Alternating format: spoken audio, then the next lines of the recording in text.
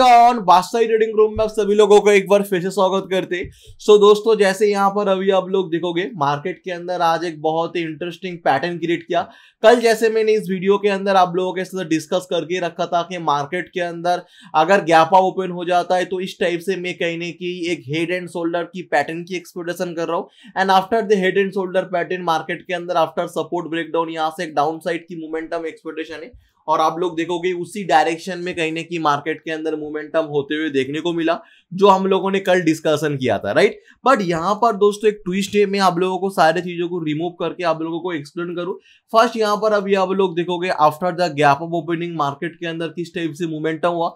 After the gap of opening market के अंदर कहीं ना कहीं यहाँ पर आप लोग देखोगे मार्केट के अंदर एक सपोर्ट यहाँ पर क्रिएट हुआ। आफ्टर सपोर्ट यहाँ पर सपोर्ट ब्रेकडाउन हुआ बट इसके नीचे प्राइस कहीं ना कहीं क्लोज नहीं हो पाया। एंड आफ्टर दिस मार्केट अपने आपको स्ट्रॉन्ग रिकवरी किया। यहाँ पर एक बहुत इंपॉर्टेंट पॉइंट आप देखोगे मार्केट के अंदर after the gap of opening जितना पॉइंट फॉल्ट हुआ, उससे ज़्यादा तेज़ी से मार्केट अपने आप को रिकवरी कर लिया। ये जो साइन है ना, कहीं ना कि ये दोस्तों बियारिस मार्केट का साइन है ही नहीं। ये कहीं ना कि बुलिस मार्केट का साइन होता है। अगर मार्केट दस मिनट में नीचे गिरता है, पाँच मिनट में ऊपर आता है, ये कहीं ना कि बुलिस मार्केट की एक्सपेक्टेशन होता है, जिस स्पीड में मार्केट अपने आप को रिकवरी कर ले रहा है, ये कहीं ना कि बुलिस मार्केट की एक्सपेक्टेशन है। आफ्टर दिस मार्केट के अंदर हल्का सा रिटेसमेंट हुआ एंड आफ्टर रिटेसमेंट मार्केट अपने आप को मूव करने की कोशिश किया, ऊपर लेके आने की कोशिश किया है। सो ये जो साइन हो रहा है दोस्तों मार्केट के अंदर, जिस टाइप से मार्केट जितना पॉइंट नीचे आया, आप देखोगे one two three four five five candle मतलब पचास मिनट में मार्केट नीचे आया और जस्ट बीस मिनट में मार्केट अपने आप को स्ट्रॉन्ग रिकवरी दिखाया। इस चीज़ को देखते हुए कहीं ना कि मेरा जो व्यू है, वो कहीं ना कि थोड़ा चेंजेस हुआ और मेरा मेंटेलिटी ऐसा हुआ कि मार्केट यहाँ से कहीं ना कहीं अपने अपर साइड की जो मोमेंटम है वो कंटिन्यू कर सकता है बिकॉज़ मार्केट की ओवरऑल टेक्चर कहीं ना कि यहाँ पर बुलिस था। मार्केट के अंदर नो डाउट लास्ट मंडे को एक बहुत ही डाउनफॉल की बियारिस मोमेंटम देखने को मिला।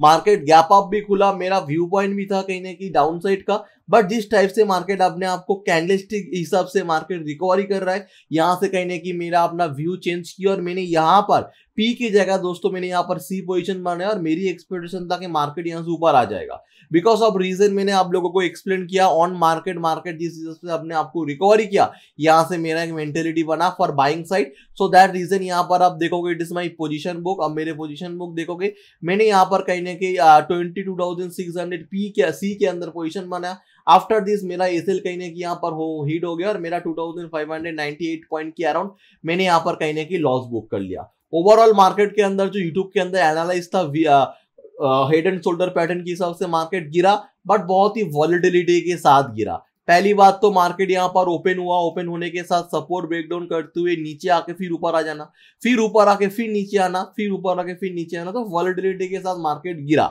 राइट बट अभी नेक्स्ट व्हाट नेक्स्ट मेरा कल का क्या व्यू है? किस टाइप से मैं मार्केट को देख रहा हूँ? नो डाउट मार्केट के अंदर जो मेरा व्यू है, वो कहने की यहाँ से अभी डाउन साइड का व्यू है और क्लियर कट में मार्केट के अंदर डाउन साइड जाऊँगा। उसके लिए कुछ कंडीशन में आप लोगों के साथ शेयर आउट करूँ। ये जो लेवल मैंने यहाँ पर ड्रॉ करके रखा है, जो सपोर्ट था, जो अभी रेजिस्टेंस की तरह वर्क कर रहा है।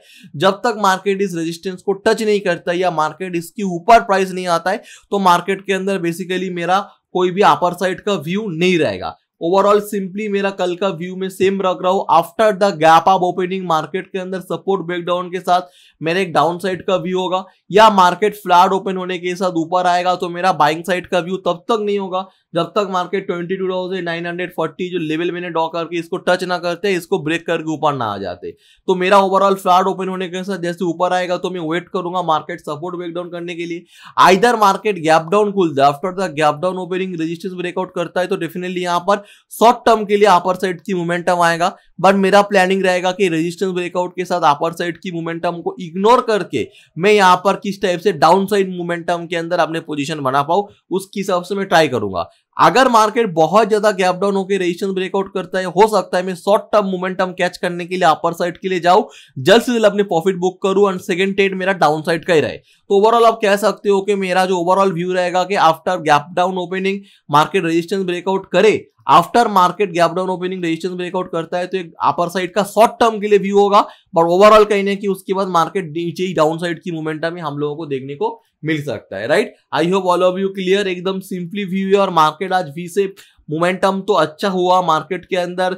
हम लोगों की जो पैटर्न है, वो भी क्रिएट हुआ। बट कैंडलिस्टिक की कुछ बिहेवियर को देखते हुए मैंने अपने व्यू चेंज किया। बिकॉज़ नो डाउट मार्केट अपनी लाइफ टाइम हाई के अंदर खड़ा हुआ है। एक स्ट्रॉन्ग बुलिस सिचुएशन में मार्केट खड़ा हुआ है। And after the strong bullish situation market जिस टाइप से अपने आप को रिकवरी करने के लिए ट्राई कर रहा था, ये कहीं नहीं कि होपफुली एक बाइंग साइड मार्केट की इंडिकेशन हो सकता था। सो दैट रीजन मैंने यहाँ पर एक बाइंग साइड का ट्रेड लिया बट ओवरऑल मार्केट अपना जो हेड एंड शोल्डर पैटर्न है, उस पैटर्न को फॉलो करते ही मार्केट नीचे आ रहा है। उस हिसाब से मार्केट के अंदर मैंने एक लेवल भी ड्रॉ किया। इस लेवल के ऊपर जब तक प्राइस नहीं आ रहा है, मेरा एग्रेसिव बाइंग साइड का कोई भी डिसीज़न नहीं होगा। या इस लेवल को एक बार टच भी ना करता है। अगर देखो एज्यूम करो कि इस लेवल को टच भी करता है ना, इस लेवल के आसपास भी प्राइस घूमता है तो भी मेरा बाइंग साइड का व्यू हो सकता है। बट जब तक इस लेवल को टच ना करे, इस लेवल के ऊपर ना आए या इस लेवल को टच ना करे, तब तक मैं बाइंग साइड का कोई भी व्यू नहीं देखूँगा बिकॉज़ मार्केट के अंदर टॉप में एक head and shoulder pattern successfully create हो गया है